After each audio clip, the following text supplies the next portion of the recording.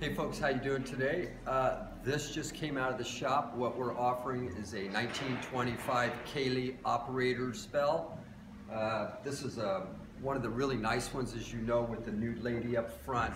This is a classic design, an Art Nouveau design.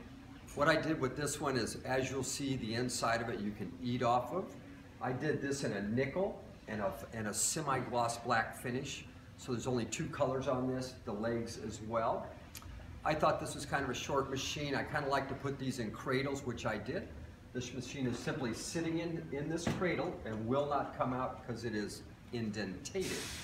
Uh, come around here, Jeff. Oh, let me play it for you.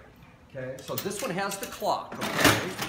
So it does not have the pump in it. It's got the clock. If we can get a hit, a payout here. Plays and pays nicely. It's a beautiful machine. When you come around to the side here, I elected to only put on the Superior Bell sticker. I put it dead center.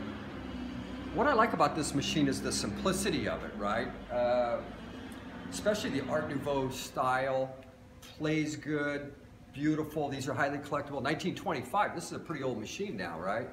Uh, so if you'd like to have a really nice Caille, this is a good one for you. Uh, you'll get to see in the stills the quality of the restoration and the mech, etc. So she's a beauty. She's a nice girl. If you want it, I would get this one. Absolutely beautiful machine. Thank you so much. We definitely have an emphasis on nude to get nude paintings in background, nudes on this thing, and naked and afraid in the, in the TV in the background. The hell's going on here? And our compressor. Beautiful. Beautiful. Quiet on the set. These are antiques. These are mantiques. Antique, mantique. These guys sell mantiques. This is their store.